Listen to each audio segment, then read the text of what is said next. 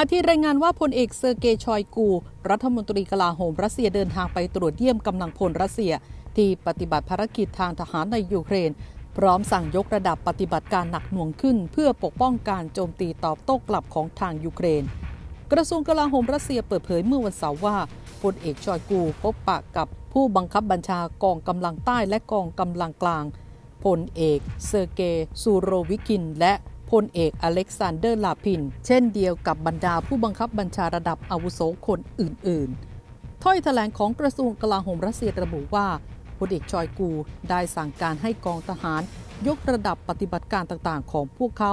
ในการปกป้องปฏิบัติการโจมตีของยูเครนใส่ภาคตะวันออกของยูเครนและพื้นที่อื่น ๆ ที่อยู่ภายใต้การยึดครองของรัสเซีย พร้อมกับเตือนว่าเคียฟอาจเล็งเป้าหมายถล่มโครงสร้างพื้นฐานทางพลเรือน และถิ่นพักอาศัยของประชาชน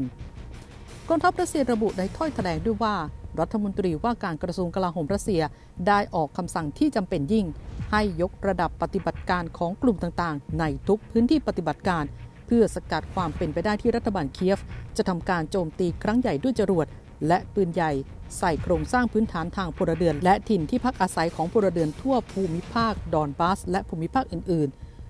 การเผยแพร่คำสั่งดังกล่าวเกิดขึ้นหลังจากที่รัฐบาลเคียฟ รายงานจำนวนผู้เสียชีวิตรวมกันไม่ต่ำกว่า 40 ราย และตั้งข้อสังเกตว่ามีการโจมตีเน้นมาที่เมืองในภาคกลางของยูเครนมากขึ้น ด้านนายโอเล่ซินฮินฟูฟผู้ว่าการแคว้นคาร์คิฟอ้างว่ารัสเซียยิงจรวดถล่มเมืองชูฮิฟ ทางทิศตะวันออกเฉียงเหนือของภูมิภาคคาร์คิฟ จนส่งผลให้มีผู้เสียชีวิต 3 ราย และบาดเจ็บอีก 3 ราย นอกจากนี้ทางตอนใต้ของยูเครน นายวาเลนตินเรส นิเชนโก ผู้ว่าการแคว้นดนิโปรเปตรอฟกล่าวว่า จรวดของรัสเซียมากกว่า 50 ลูกถล่มลงมาที่เมืองนิโกโปล ซึ่งส่งผลให้มีผู้เสียชีวิต 2 ราย ด้านยูเครนระบุว่า ในช่วง 3 วันที่ผ่านมามีผู้เสียชีวิตประมาณ 40 รายในเขตเมืองจากการโจมตีดังกล่าว แต่รัสเซียปฏิเสธว่า มุ่งโจมตีฐานทัพทางทหารเท่านั้น ไม่เคยมีเป้าโจมตีที่เขตที่อยู่อาศัยของประชาชน ขณะที่เพจการทูตและการทหารได้วิเคราะห์ไว้อย่างน่าสนใจว่า รัสเซียยังคงไม่ยอมเปิดเผยตัวผู้บัญชาการในยูเครน เมื่อวานนี้มีข่าวว่าพลเอกเซอร์เกย์ชอยกู รัฐมนตรีกลาโหมรัสเซียเดินทางไปตรวจเยี่ยมแนวหน้าในยูเครน แล้วออกคำสั่งให้กองทัพรัสเซียเพิ่มความเข้มข้นของปฏิบัติการมากขึ้น อะไรทำนองนั้น ซึ่งก็เป็นบทพูดปกติในสถานการณ์แบบนี้อยู่แล้ว ผมไม่ได้ให้ความสนใจคำพูดของชอยกูมากนัก แฟนเพจที่สนใจสามารถหาอ่านในสื่อทั่วไปเพิ่มเติมได้ แต่ที่สนใจก็คือ จนถึงขณะนี้ รัสเซียยังไม่ยอมเปิดเผยว่า ใครเป็นผู้บัญชาการสูงสุด หรือแม่ทัพใหญ่ของรัสเซียในยูเครนกันแน่ เพราะข่าวที่รัสเซียเผยแพร่ออกมา บอกแค่ชื่อผู้บัญชาการหน่วยทหารรัสเซียทางใต้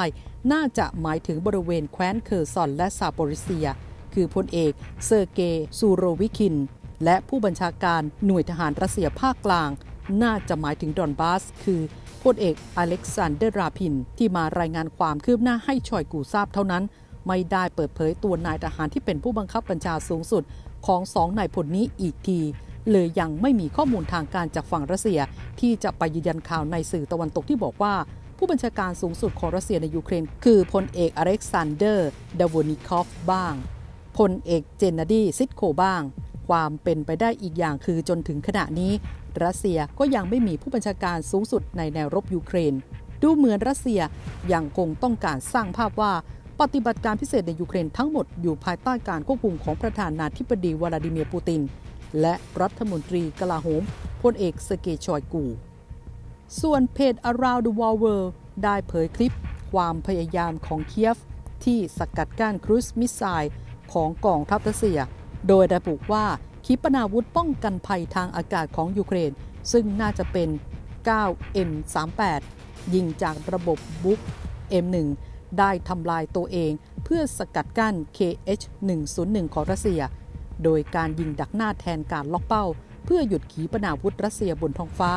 ที่คิดค้นขึ้นโดยกองกำลังของเซเลนสกี้ หรือมันเป็นวิธีปกติที่ระบบป้องกันภัยทางอากาศเขาทำกัน วิดีโอถูกถ่ายในวันที่มีการโจมตีที่เมืองดนิโปรทางตอนใต้ของยูเครน เป้าหมายเป็นโรงงานยูซมัชที่ผลิตอุปกรณ์การบินและอวกาศของยูเครน หรือแกล้งยิง เพื่อเรียกร้องความเห็นอกเห็นใจให้สหรัฐ เร่งจะส่งระบบ NASAMS ที่สัญญาว่าจะให้กับเคียฟจำนวนสองระบบ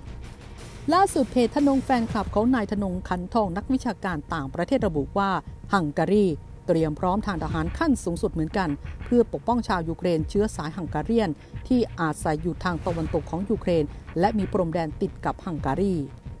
ปีเตอร์ซิยาร์โตรัฐมนตรีต่างประเทศฮังการีเปิดเผยว่าฮังการีได้มีการเตรียมความพร้อมทางทหาร ที่จะปกป้องผู้ที่มีเชื้อสายฮังการีน150,000 คนที่อาศัยอยู่ในพื้นที่ทางตะวันตกของยูเครนฮังการีมีเรื่องบาดหมางกับยูเครน เพราะว่าแอบให้สัญชาติผู้ที่มีเชื้อสายฮังการีน ทำให้เคียฟไม่พอใจเป็นอย่างมาก ฮังการีต้องการได้ดินแดนของยูเครนที่มีชาวฮังการีนอาศัยอยู่ ฮังการีนั้นเคยเป็นรัฐบริวารของโซเวียตมาก่อน หลังจากโซเวียตล่มสลายได้หันไปคบตะวันตก โดยเป็นสมาชิกของ EU และนาโต แต่ผู้นำฮังการีวิกเตอร์ออร์บานทำตัวเป็นแกะดำใน EU โดยมีใจให้กับรัสเซียมากกว่า เหมือนกับตุรกีที่เทใจให้รัสเซีย แม้ว่าจะเป็นสมาชิกของนาโตก็ตาม วิกฤตคือโอกาสถ้าหากฮังการีย้ายค่ายมาหนุนรัสเซียในสงครามยูเครน อาจจะได้ดินแดนตะวันตกของยูเครนเป็นรางวัล และสามารถรวมชาติกับชาวฮังการีพลัดถิ่นได้ ซึ่งเป็นเป้าหมายทางการเมืองของฮังการีมาโดยตลอด